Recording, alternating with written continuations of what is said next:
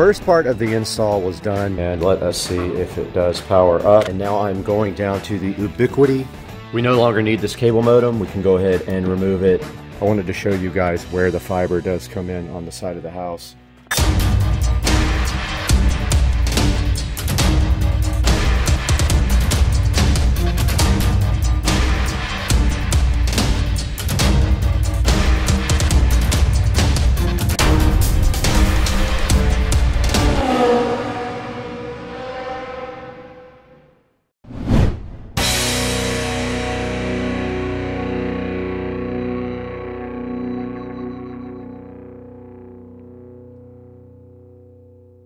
All right, guys, we are outside and we are prepping now for our IQ Fiber install.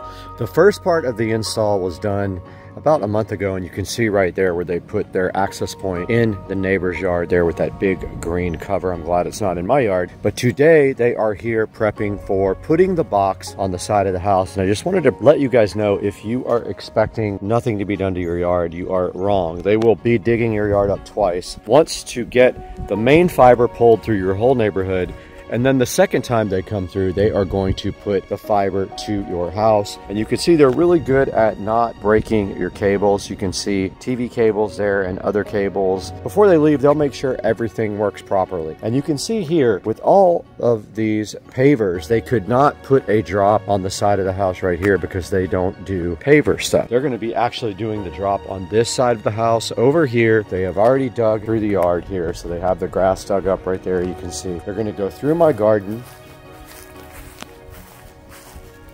They're going to put the drop right here on the side of the house. It's going to go right there, right? So it's going to be inside of that little trench right there, and they're going to put it right here. They're going to go straight up through the side of the house right there, and then inside of the house, they will come to my demarc area where I will assist them in getting fiber run. But for now, they were actually working on tunneling across the driveway. They have their machines out here. I think their machine broke and they had to go get a belt put on it but they are going to be running tubing. Ah, they already did it. So they have the hole already bored all the way across the driveway. They go underneath it. And then they go like right here and you can see their pipe right there. And that is their machine that does the burrowing. It goes straight under the driveway. Pretty crazy, guys. That is the first step, or the first two steps of getting fiber installed at your house. And this is going to be five gigs compared to what I have at Comcast with two. And it's asymmetric as well. So we're waiting for them to come back and we'll see them in a few minutes.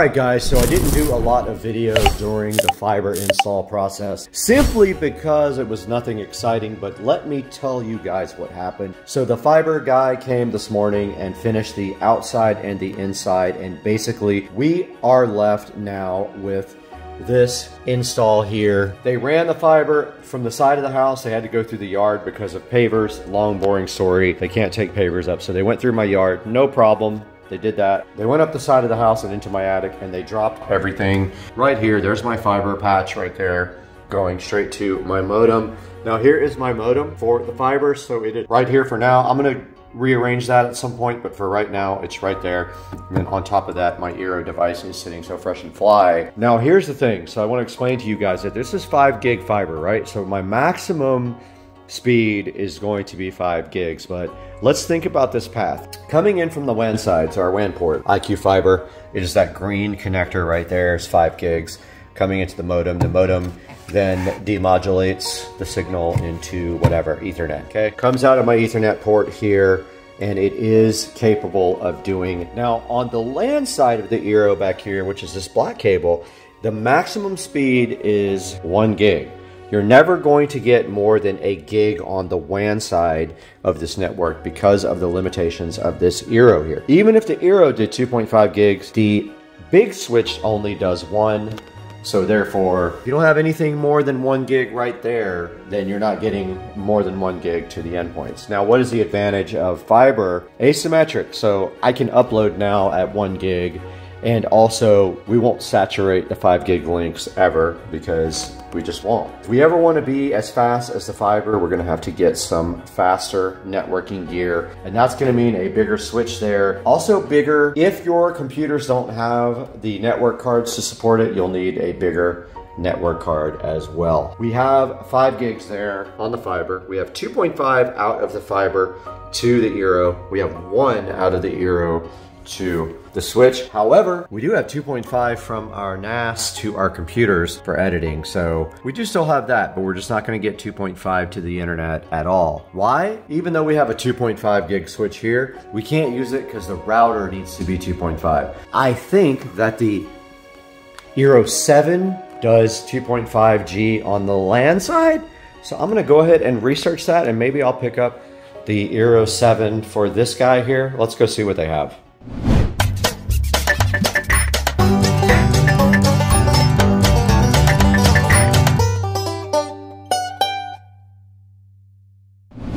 Right, guys, we are in the Supercar Street Racing living room and actually in the dining room here with the Eero 7 Max. We're going to get this guy unboxed today. We have a project to get out the Eero 6 and then get our internet upgraded. We're going to get this over and replace the Eero 6 and try to uplink at 10 gigs on IQ Fiber.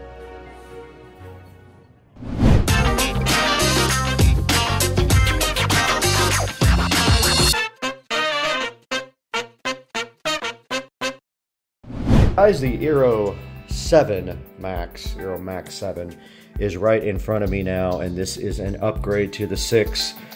And it has two 10 gig ports and two 2.5 gig ports, as you can see there. Tri-band and wireless up to 4.3 gigabits per second. And let's go ahead and get this unboxed. The Eero 7 Max is sitting right in front of us right now having some bad reviews. We're going to find out if those reviews are accurate.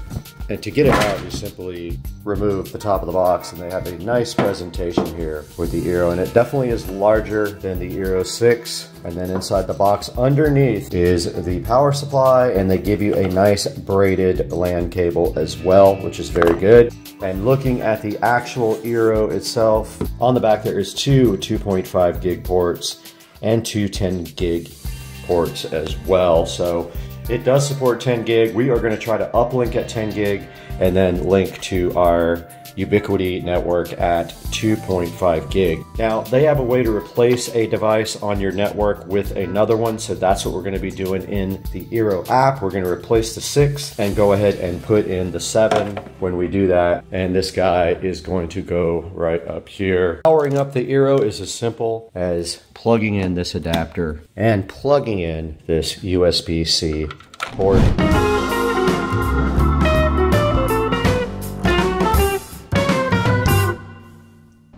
All right, so I have the new Eero here. I have the modem off, or the ONT is called, off for the internet. And actually we have plenty of room on here now. New power brick in, get it some power. So now we have a flashing white light. We're waiting for that to go blue is the deal. Once we have a blue light, we will go back to where we were. Okay, our light turned blue. Let's get back into the app now.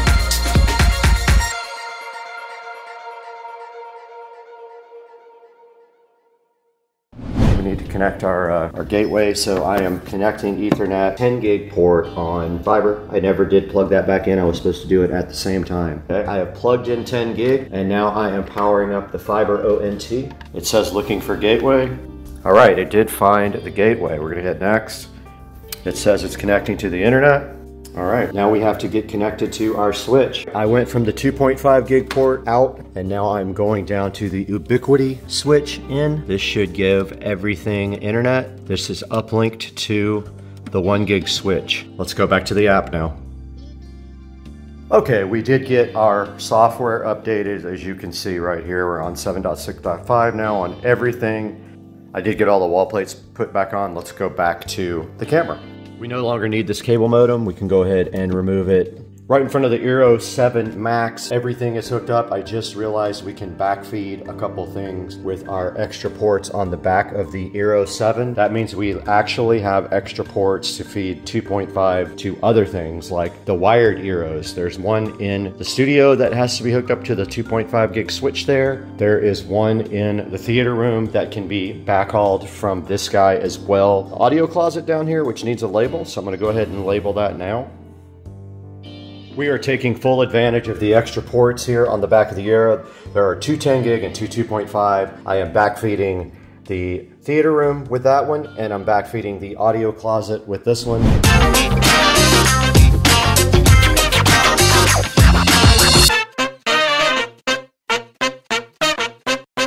All right, we are out here. I'm trying not to be super loud because my neighbors are all asleep. It's early, but I wanted to show you guys where the fiber does come in on the side of the house. So it comes in right here from in the yard through my garden. They could not go over my pavers. They didn't want to do that. And there is the demarc. Fiber goes up, up my house. They could have done a better job of tucking the wire up there. I'll probably do that, but it goes up to the attic right there. The fiber did run through the yard just like that all the way under the driveway to their box, which is located in my neighbor's yard.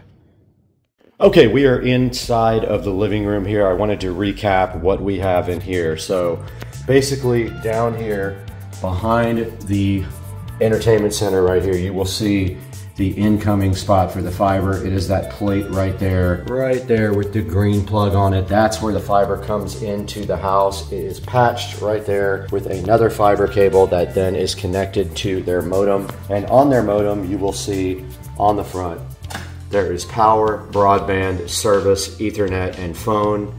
A phone is not being used. And on the back, all you have is a fiber input, a ethernet jack, a phone jack, and a reset button and where the power goes in right there. It has a small power brick. It does get very warm, so if you have a concern about cooling, make sure you have adequate ventilation wherever you put this. For example, if you put it in a closet, it is rather warm. And do not stack it with other devices either.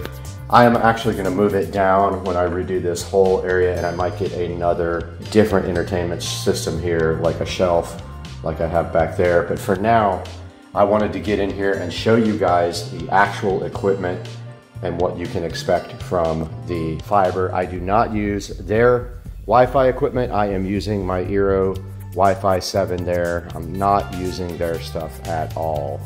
The installer was amazing. He did a lot of extra things for me and I was really appreciative. He helped me fix a few cables and run a couple of extra Cat 6 cables. Love those guys, give them the highest possible rating.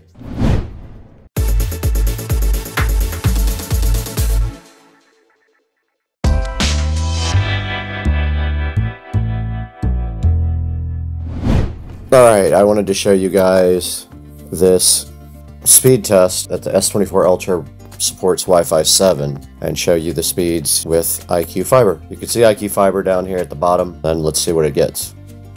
1,100 down, 1,000 up. Awesome. All right, guys, I just wanted to take you guys through this a little bit in front of the computer to show you what is going on with IQ Fiber and to end this video about IQ Fiber install. If you had any questions, you can also put them down in the comments section or email me as well. Right in front of me, we've got the iqfiber.com site up, but I want to show you how this is configured in the computer. You can see we are linked at 2.5 gigabits per second. And that means we have a 2.5 gigabit connection all the way through the chain, meaning we have a switch that supports 2.5 gig and our router supports actually 10 gig and 2.5 gig. So that means we have a 2.5 gig connection from the fiber optical network terminal, ONT, not a modem, over in the other room all the way to this device. Now let's go over here and run the speed test here. And we are getting 1600 megabits per second, 1700, 1800, 1900, and we are using some internet for streaming as well. We're, we are doing a live stream. We got 2065 upload speed so far. This is, again, this is limited by the 2.5 gig connection. If we had a 10 gig switch and a 10 gig connection, we would probably see 5,000 each way. Let's close that and let you get a good look at IQ Fiber connections hardwired at 2.5 gig. Guys, go up to the IQ Fiber site if you're in Jacksonville or anywhere that has service now go ahead and order IQ Fiber and turn off the other providers if you have them. This is a good, solid deal. It's cheaper, 125 a month. I have 5 gig up and down. It's asymmetric. Don't forget cable is not. Fiber is asymmetric, meaning your speeds will be the same for both upload and download. Fiber is much better than cable at asymmetrics. So guys, thanks for watching Supercar Street Racing. We really appreciate your service to us and we love having you guys as viewers please like and subscribe. Buy all your items through Amazon through my official links in the bottom of the video description, and we'll see you guys on the next one.